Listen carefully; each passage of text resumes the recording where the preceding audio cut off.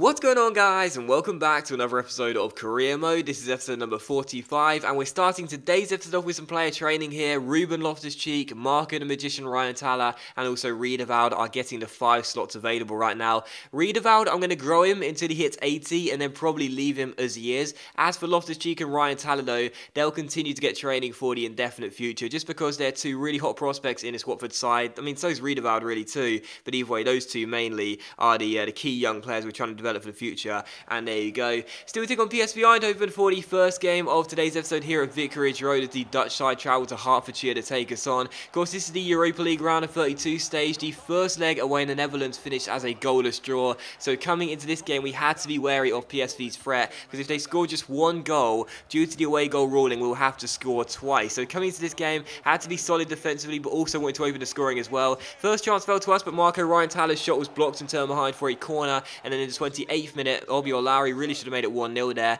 Our giant striker went through, but sadly couldn't hit the target and the shot went wide of the post. In the 34th minute, all would have been forgiven for Charlie Austin's poor debut season for us had he scored that goal. What a fantastic goal that would have been. A first time bicycle kick, going over the bar and behind for a goal, kicking it was still goalless. But at half time, as you saw the stats there, despite PSV having a little bit more possession, we were playing better. But in the second half, thankfully for me, Jack Butland bails us out in the 62nd minute. I tried to pass out from the back, gave the ball away, and PSV should have opened the scoring, but Butland made a phenomenal save and kept it at nil-nil. In the 85th minute, PSV would also hit the woodwork as well. This shot from just outside the area, hitting the post, and eventually we got the ball away. Had PSV scored there, it would have been good night Watford. There's no way we would have scored the two goals we need to in the final few minutes had they opened the scoring there. Thankfully, the shot hit the woodwork though, and we got the ball away. Obbi Oulare almost won us the game in the 89th minute. That shot well saved by the goalkeeper and turned behind for a corner, but from the corner, Marco Ryan Tala crosses the ball in. Corker heads it up in the air and at the far post with just five seconds of normal time to play.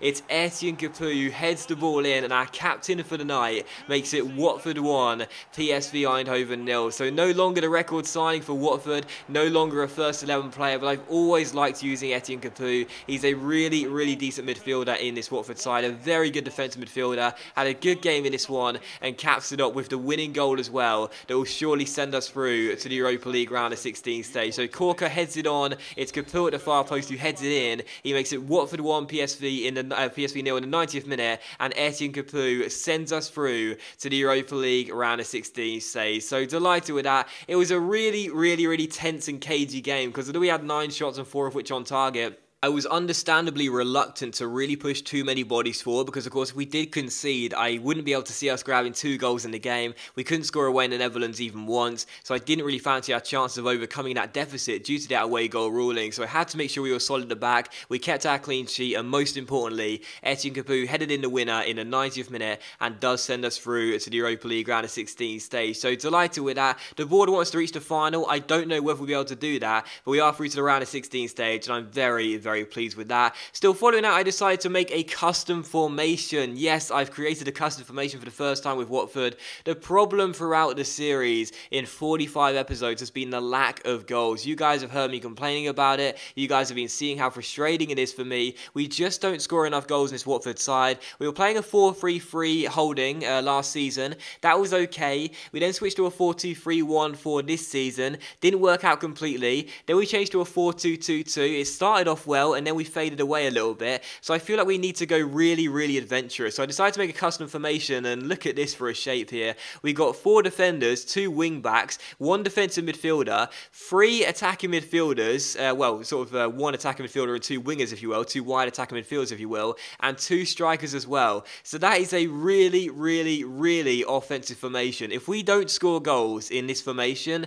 then I don't know what to say, man, seriously, because that is as attacking and as attack-minded as you can get, really with only two centre backs left back at the uh, original sort of back four, if you will. The wing backs playing as wing backs, obviously. One defensive midfielder, three attacking midfielders supporting two strikers. That is very, very offensive. I can see us conceding quite a few goals in this formation, losing our fantastic defensive record, but hopefully, touch wood, we'll score a lot more goals because we need to. You know, seriously, we just don't score enough goals in this team. We need to try and amend that, and hopefully, with this new custom formation, we will score more goals. I've called called it the Docks, and uh, we'll wait and see if it turns out to be a successful formation for us or if we'll need to change it in just a few games' time. Still, we try out the formation for the first time in this game against West Ham United here, the second and final one of today's episode. Coming on the back of that win against PSV, we only had one day's rest coming into this game, this game being played on a Saturday. First chance fell to West Ham, but Butland made a great save, and then we had a great chance there. That shot being well saved by the West Ham goalkeeper, though, and it was cleared away. In the 21st minute, though, another great chance for West Ham, and once again, Jack Butland makes a really good save. He's going to be very busy in this formation,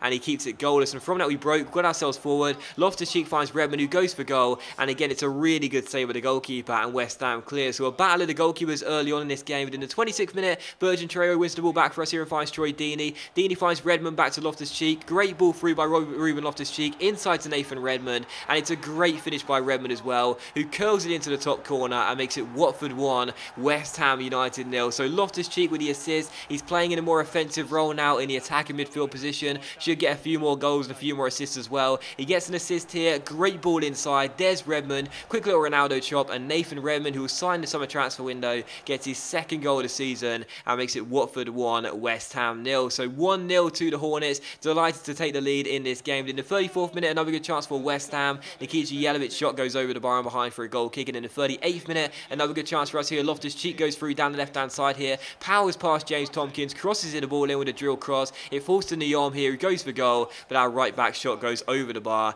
and behind for a goal kick. So still 1-0 as things stood, but another good chance for West Ham in the 43rd minute. We're going to see a lot of our opponents getting a lot of chances against us now. We chose this attacking formation, but once again, Jack Butland makes a superb save and keeps it at 1-0. So at half-time, as you could see, it was a really open game, 11 shots in total. West Ham had had more possession, but I felt as though we were still playing pretty well. And in the second half, just three minutes after the restart, we would double our advantage. Troy Deeney, our captain, gets his 10th goal of the season, reaches double figures, and makes it 2-0 to Watford. And the goalkeeper for West Ham was actually playing quite well in this game, but for this one, I'm not really sure what he was doing. Very, very poor goalkeeping. Don't know how he was beaten by Deeney there. As Skipper will certainly take it. It's his 10th goal of the season in the Premier League, but either way, pretty poor goalkeeping and we were pretty fortunate to double our advantage there. In the 54th minute, Mark Noble shot goes just over the bar and behind for a goal kick, and in the 69th minute here, a good chance for Lanzini to get West Ham back in the game. They had so many opportunities, West Ham, unsurprisingly so.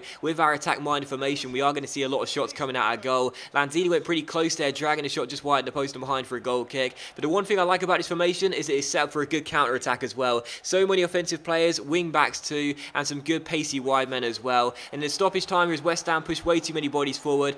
Foul found Traore. Traore saw Ryan Taylor calling for it at the far post, gave it to our young Italian winger, and Marco the Magician gets his second goal in the Premier League and makes it Watford 3, West Ham nil. So he comes off the bench, he secures the points. We're going to win with our first game with the new custom formation. Traore with the assist, being unselfish, Loftus-Cheek getting out of the way, and Marco the Magician rifling it at the far post, coming off the bench and making it Watford 3, West Ham United nil. So delighted to get the three points, delighted to win by three goals to nil as well. Those are the type of games that we want to see more often in this series. Those are the type of games we want to see with this new formation as well. 14 shots and 7 of which on target. West Ham had 8 shots on, uh, on target, uh, sorry, 8 shots in total in fairness, and 2 on target as well. They definitely will be getting more chances, our opponents, now we switch this formation, but we should be seeing a lot more chances created by us and a lot more shots taken as well. Now we're going so attack minded because that's what we really needed to do, you know. Yes, of course, having a great defensive record is awesome, but in terms of excitement and in terms of enjoyable gameplay,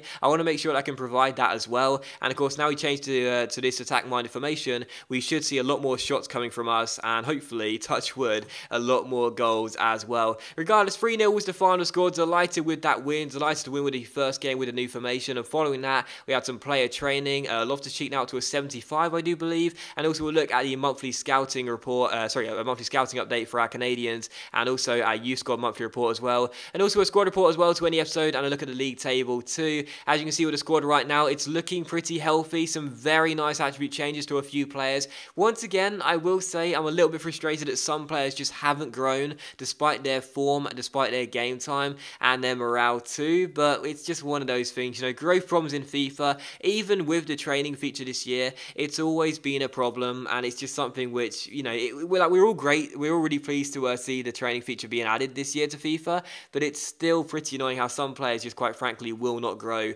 regardless of what kind of form they're in and how happy they are. Either way, that is the squad report. You can see how the players are currently doing, and also we'll look at the league table as well. Just 10 games remaining in the season. We are in third place, seven points clear of Liverpool, nine points clear of Newcastle, the last side to beat us in the Premier League, and also only six points off Spurs, who are top of the table. Don't see us claiming the title come the end of the season, but I guess you never know. But that does end the episode, guys. So thank you very much for watching the video. I really hope you have enjoyed it. If you enjoyed today's episode of Career Mode, then please do leave a like, because that's much appreciated, and of course it really does help the channel out. And I'll see you for the next episode of Career Mode very soon.